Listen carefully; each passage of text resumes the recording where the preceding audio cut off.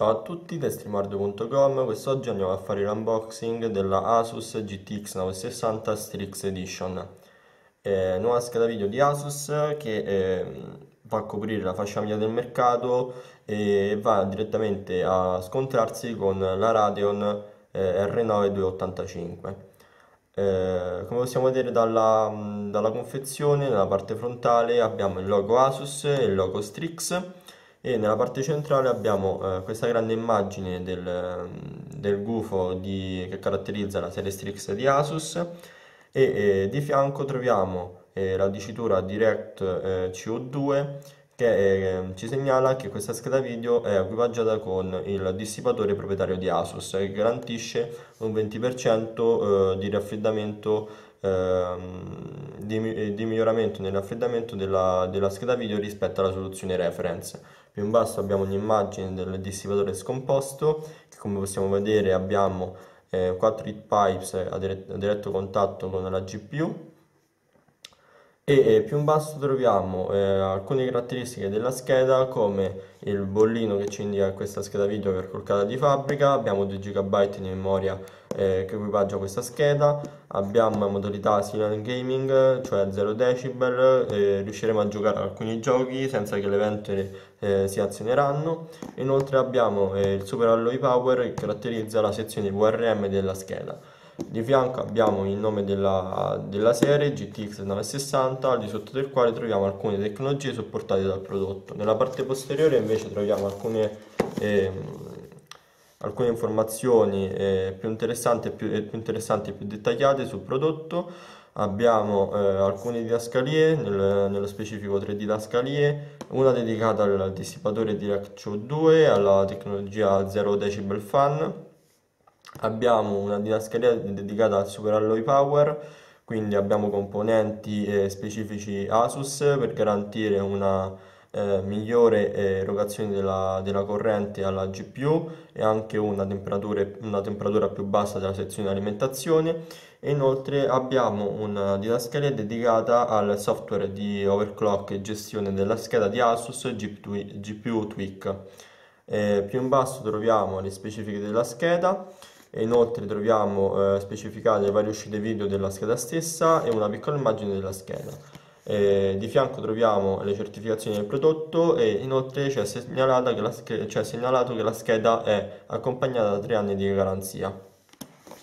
Apriamo la confezione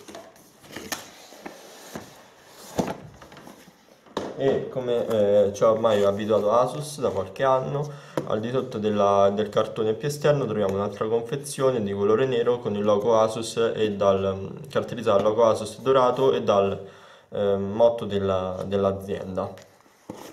aprendo anche questa confezione cosa troviamo? prima di tutto la scheda protetta all'interno di questa spugna anti-urto e busta anti-elettricità statica e inoltre troviamo il bundle allora.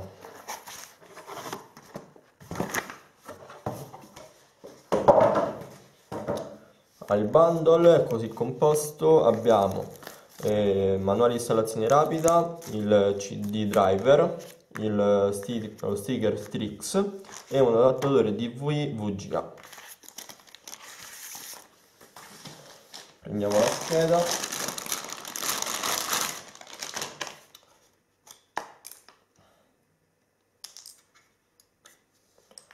allora ecco qui la scheda come possiamo vedere è davvero compatta infatti facciamo uno zoom.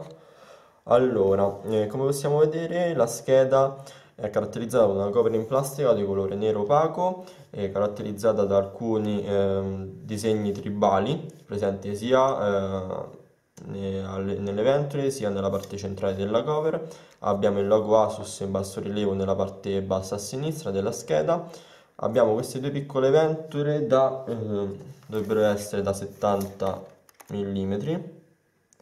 sono da 75 che hanno il compito di raffreddare il radiatore in alluminio eh, sottostante. Eh, come possiamo vedere inoltre abbiamo 4 heat pipes da 2 ehm, da 6 mm e 2 da 8 eh, che trasferiscono il calore dalla GPU al dissipatore in alluminio che verrà raffreddato da queste due ventole che trovano eh, la loro struttura portante nel eh, dissipatore e nella cover. Eh, come possiamo vedere inoltre nella parte eh, superiore nella parte superiore abbiamo eh, il PCB della scheda che è molto più eh, piccolo, molto più corto del, della lunghezza del dissipatore, abbiamo l'unico connettore di alimentazione 6 pin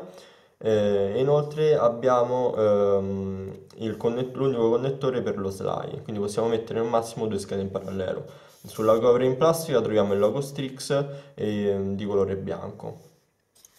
Nella parte eh, posteriore invece cosa eh, troviamo, troviamo questo eh, bel backplate in metallo caratterizzato da una eh, rifinitura spazzolata di colore nero, abbiamo il logo Asus in grigio e ehm, inoltre abbiamo questo piccolo spazio per permetterci di inserire il connettore per lo slide. Come abbiamo già detto il PCB e lo stesso backplate eh, sono molto più corti rispetto alla lunghezza del dissipatore stesso. Qui notiamo il cavo di alimentazione per le ventole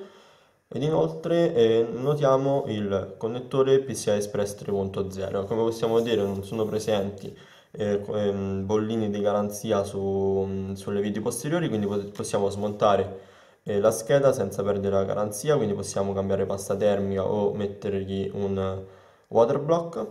Eh, e inoltre come possiamo vedere eh, abbiamo sotto il connettore di alimentazione ehm, della scheda che oltre ad essere ehm, eh, rovesciato rispetto al normale in modo da permetterci di inserire il pin di alimentazione altrimenti andremo a sbattere contro la cover e il dissipatore. Notiamo che sono presenti due led eh, che si illumineranno eh, in maniera alternata a seconda se la scheda sia alimentata correttamente o no. Eh, si illuminerà di rosso quando la scheda non è alimentata correttamente e di bianco quando lo sarà eh, correttamente. Nella parte inferiore possiamo notare meglio eh, le 4 heat pipes in rame nichelate